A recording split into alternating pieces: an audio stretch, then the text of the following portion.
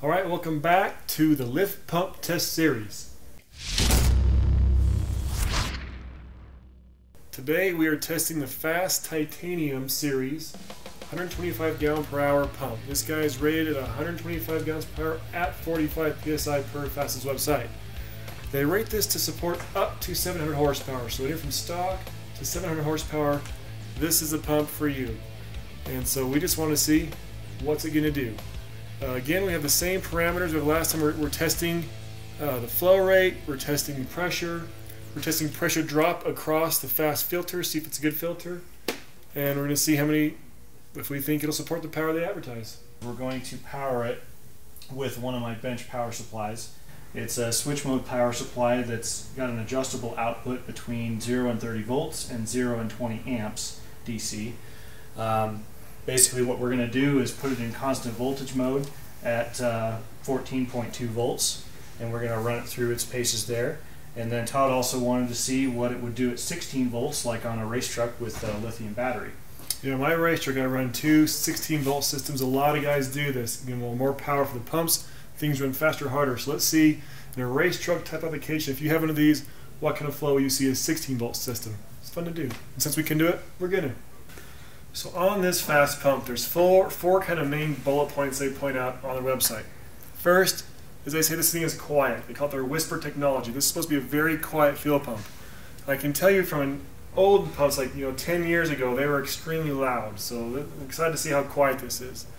The next thing they talk about is they have some machining techniques where they radius cut all their stuff. So all the passages in this fuel block are supposed to be optimized for, for perfecting flow. So it's supposed to flow real well. They also have this thing called mass flow return. What is that, Tony? So basically what their mass flow return is, is there's a regulator or it's really a relief valve inside uh, the block here on top of this filter. And basically what they're doing is um, when, you know, this pump is preset at 45 to 47 PSI as per the website. Basically when system pressure, when, when the discharge pressure climbs above that, it cracks open a relief valve here that sends fuel from that sends fuel back to the tank. And the last thing they point out is the easy install. They say you don't have to weld or nothing, just bolt this thing on. So we bolted it on here, not accurate to what you can do to your truck, but they say it's an easy install. So we've got everything on this load ready to go.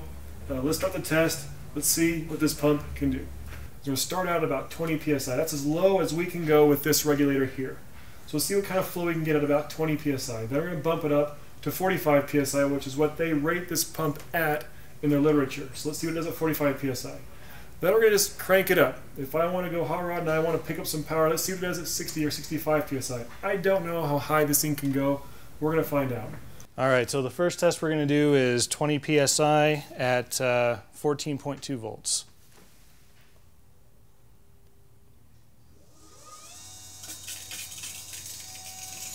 Now, while we can't drive this pump with our test bench, I did set the test bench up to give us a false, you know, RPM signal so we can still calculate supported injection rate.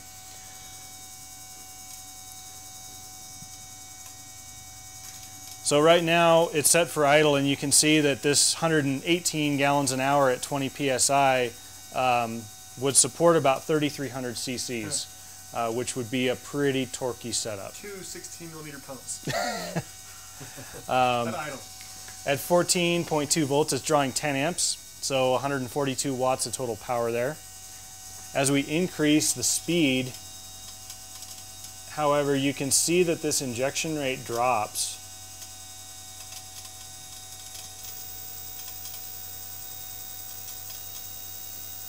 So we started at 3,300 at idle and now at 2,000 RPM, we're down to 1200 cc's.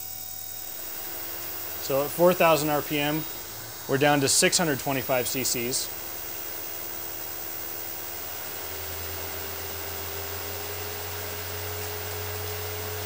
At 5000, we're looking at right at uh, 500 cc's. So what we'll do now is we'll turn the we'll readjust the regulator and set it to 40 psi. 45. 45. So now we're up to 45 psi and we're showing uh, 103 104 gallons per hour at 45 psi. So that's supporting about 435 cc's of injection rate. So we'll drop this down to 4,000 RPM.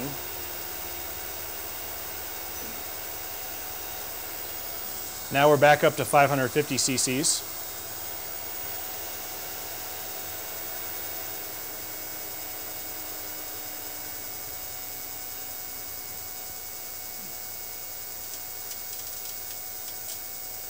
And at 3000 RPM, we're looking about 730.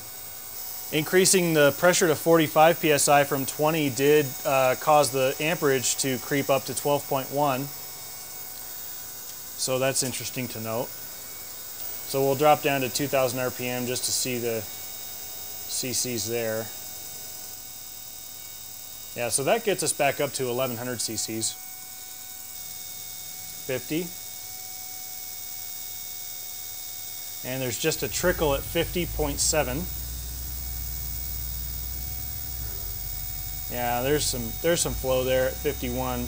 So 50 psi is really where that relief valve cracks open.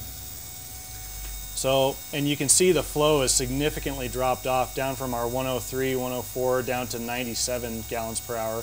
That's because flow coming through the pump is being diverted from the from this output and into this output. Well, let's see, let's see what we have at 60. So at 60 psi, we're down to 67 gallons per hour. So at 60 psi, the current draw is 13.5 amps. All right, so now that we've completed that test, we're going to turn the voltage up to 16 volts to simulate an application on a race truck. Okay, so 16 volts noticeably louder, a lot higher speed. We can tell. Probably some good flow. So yeah, 16 volts and 12.7 amps. So at 2000, we're running about 1300 cc's. At 4000 RPM, we can get away with 650.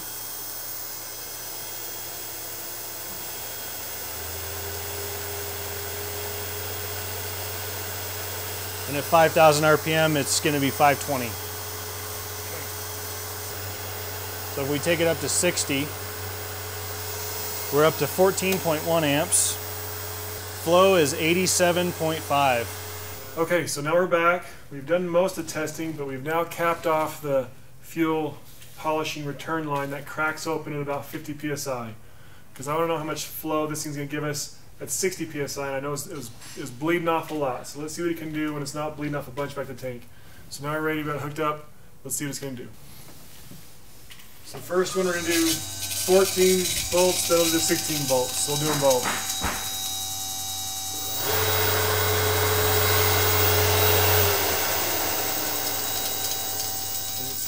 All right, so going up to 60 pounds.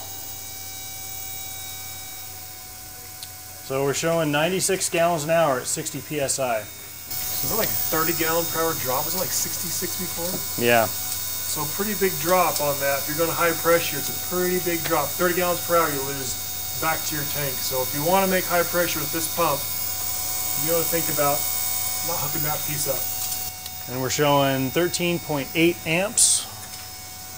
So at 2000 RPM, that'll support about 1,000 cc's. At 4,000, that's 505 cc's.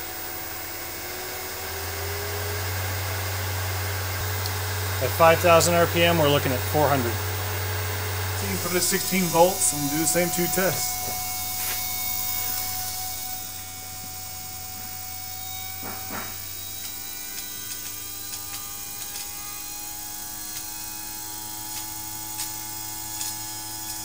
All right, back at 114 gallons an hour now. At 60 psi. At 60 psi. Cool.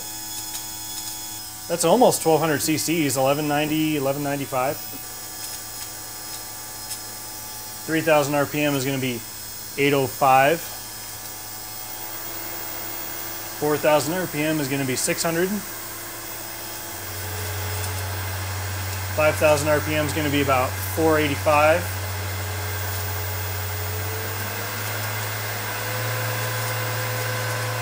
6,000 RPM is going to be just barely, well, 405. So we picked up a full 100 cc's there. All right, so what are our thoughts on this pump? So we were not able to replicate 125 gallons an hour at 45 psi, not on our stand. No. Um, well, we were with 16 volts. We got pretty close at 16 volts, actually. Yeah. But at 14 volts, your normal trucks, we're not quite able to get there. We were at 105. Is that about 105? So about Mhm. 20 gallons per hour short. Um, but still, with even with that, they advertise this up from moderate, from stock up to 700, 700 horsepower. And so, from what we're seeing here, that's that's believable. Mm-hmm. I don't, I don't have a problem with that. Yeah. I'd say that's the limit of this pump, but that's what they're saying. Um, just like we thought, the injection rate dropped because this thing never changes. You know, with the mechanical pump, flow would always increase. With this one, it never changes. Always the same gallons per hour, and how fast you took away from that well determined how much you how much you could use, how much power you could make. Mm-hmm. So, um, yeah, one thing to remember though, if you're going to use a pump like this, there's a couple different overflow valves you can put in your P pump. One's like a, an orifice, a small orifice that constantly bleeds. That's a bad one to put. I would not put something that constantly bleeds because we saw how much it killed us here. So if you have one of those things that's just a certain size orifice that's bleeding the whole time, you're killing your flow. Get a standard overflow valve that actually is a spring pop off that cuts flow until the pressure's reached and then it bleeds back. That's going to really optimize one of these pumps. Uh, get one of these guys where same thing where it stops flow until pressure's reached and then it goes through. So make sure if you're using this, don't have any bleeds. It just kills your power potential. So yeah, that's a FASS 125. Uh, I'm really excited about this. I've wanted to know what these pumps flow for a long time, and uh, now we have a way to do it. So that's this one. Next one, we're going to do a bigger pump and see what it flows. So make sure to subscribe. So the next pump comes out, you can see the test. And uh, thanks. We'll see you soon.